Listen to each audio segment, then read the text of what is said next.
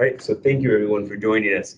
Um, as you know, today we're here to talk about the South Dade Maintenance Facility. I, I wanted to thank you, uh, all of those who joined virtually. We're very excited about this project as well as the people who joined in, in physical format. Moving forward, we will be having more of these as a hybrid uh, solution. So those of you who want to join us physically, you're more than welcome to. And we, we provide you the best quality drinking water, ice cold, for your for your pleasure as you as you see the presentation.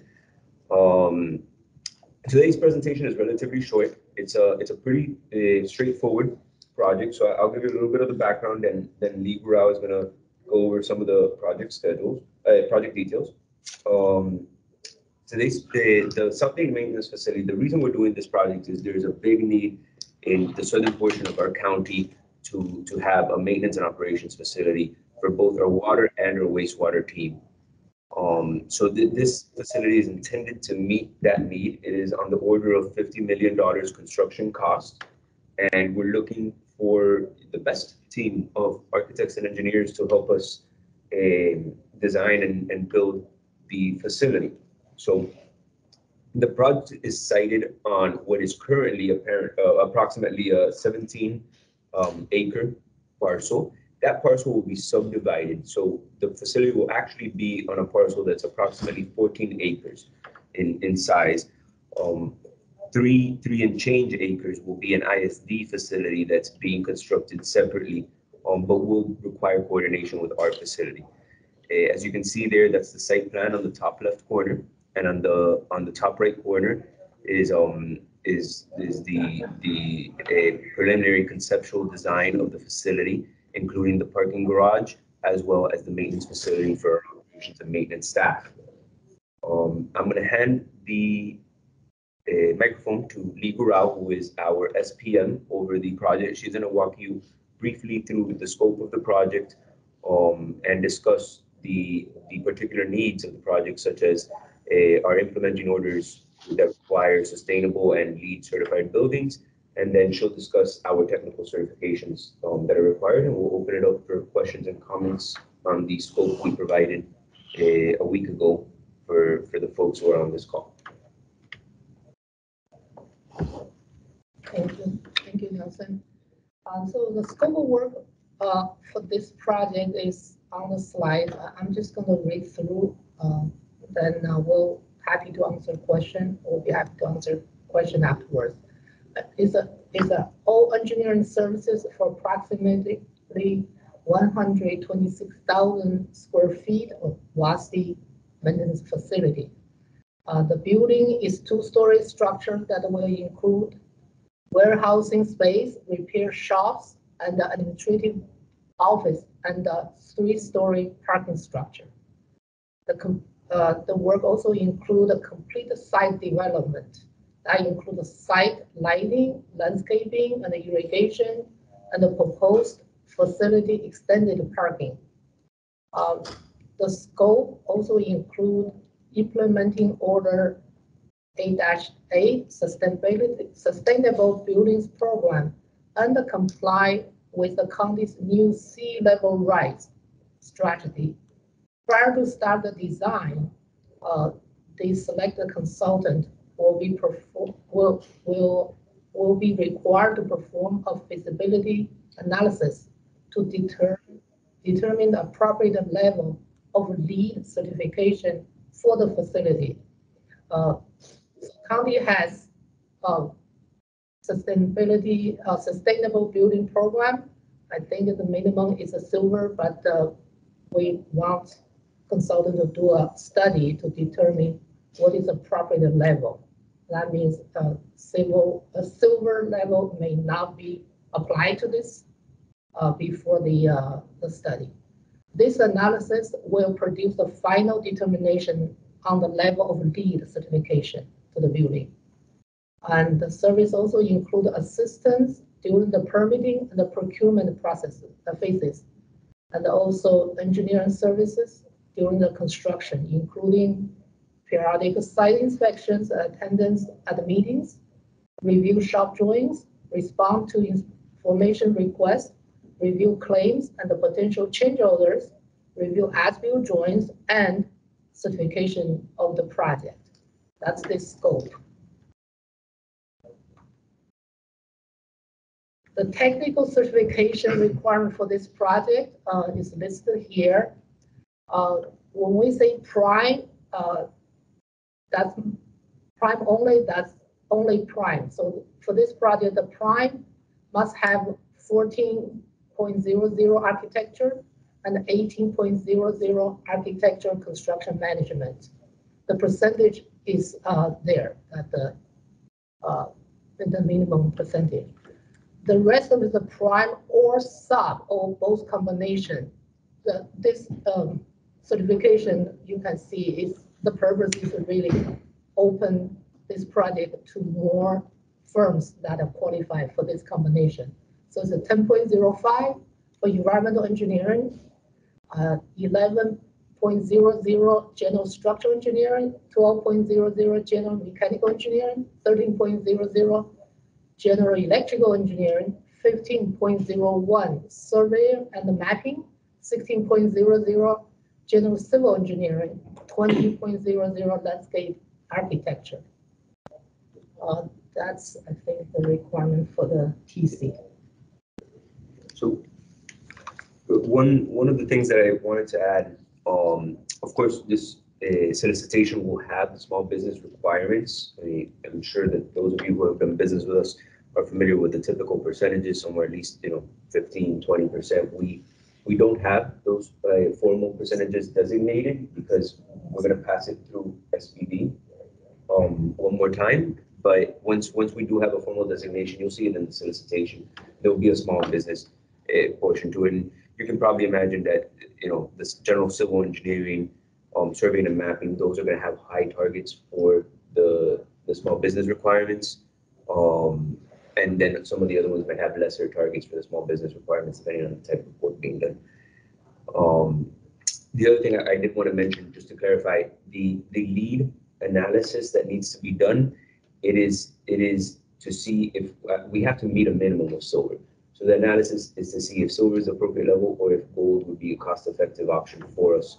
Um, but it, it- we will meet a minimum of silver to, to comply with our implementing orders, um, within the county. So I wanted to make sure that was clear.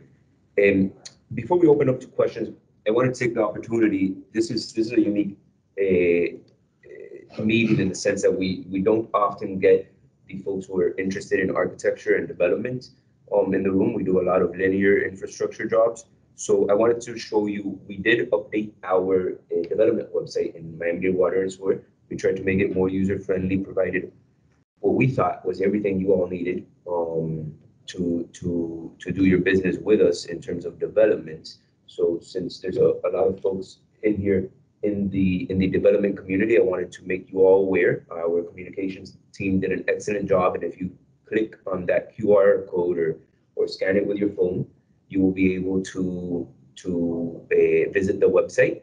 And we, of course, you know, encourage you to give us your feedback. And if you think there's anything missing, we will definitely do our best to address it. Um, but with that said, I wanted to open up the floor for, for questions. You can, of course, submit your questions at the email you see before you um, electronically or your, your comments, and we will, we will take those into account. Similar to our previous uh, meeting, we will leave it open for two weeks' time in case you want to digest it. You, you should have had the scope for about a week before we put this meeting together. Um, but we'll give you two weeks to send us in your questions and, and comments, and then we'll cut it off and, and we'll wrap up the scope and, and send it downtown and put it out on the street. Um, but hopefully you guys all have something to, to share or, or comment, uh, today while we're here, so. Um, yeah, I'll, I'll help you, I'll, I'll ask you to, to lobby the questions for me.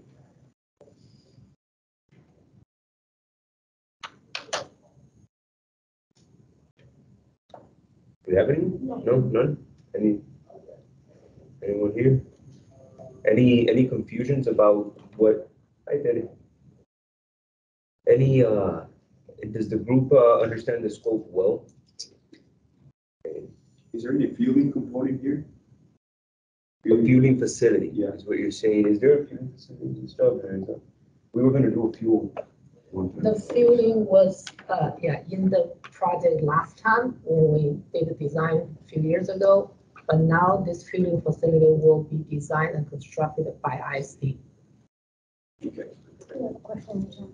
great. Could we, uh, could you read it out for us? Ernesto. Oh, yeah. If you- if- Can I see it? Can you put it on the screen? Here we go. Um, which one of them is it, Eleni? Ernesto. It's not in the chat, his hand is raised. Ernesto. You should be off mute now. Ernesto. Okay. Good morning. Can you guys hear me? Yes, we can hear you. Yes, the question I had is, is as part of this project, will it be any work on the right of way as part of this improvement? Water main, uh, sewers, and, and right of way outside the fence?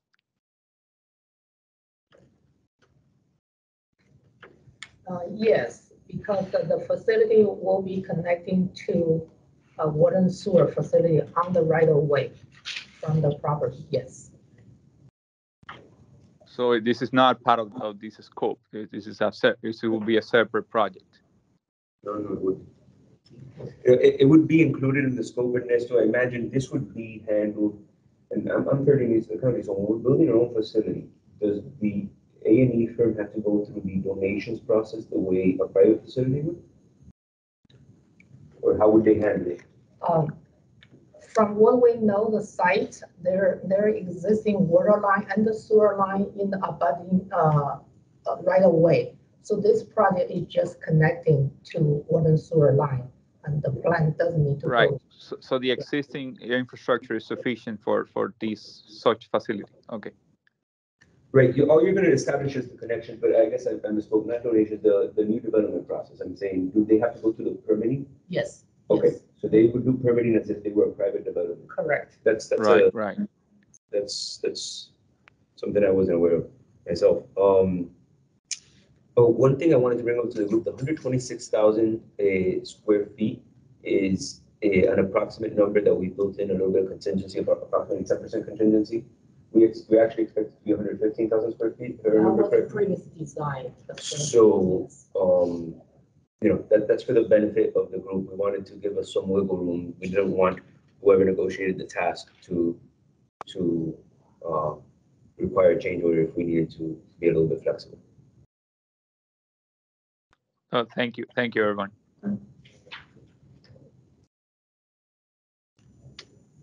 Other questions?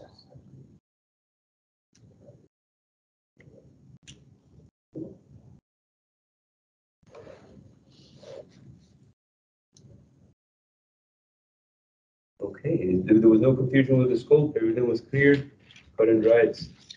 Building a, a maintenance facility. Right, well, if that's the case, uh, thank you all for joining very much. We're gonna have another one of our industry forums in two weeks. And in that one, you're gonna hear more programmatic, um, approximately two weeks, sometime in mid-June. Uh, we're, we're still in late May, but, um, we're gonna, you're gonna hear more programmatic, um, topics, things such as our CAP program, um, where we're going. We are, we are working every day to put up a five-year work plan for contractors and for, well, the consultant one was actually shared in our last industry forum, so that's out, um, our, our five-year work plan for PSAs. Um, but the, the contractor version where every job is out, um, similar to, to FBOT, we want to make sure we share that for the group. So it- it's gonna be exciting. Um, and I hope you all join us. It'll be hybrid like this one, hopefully, if, as long as we're allowed and, you know, COVID permits. Um, so thank you for joining us this morning. I guess you can stop the recording now.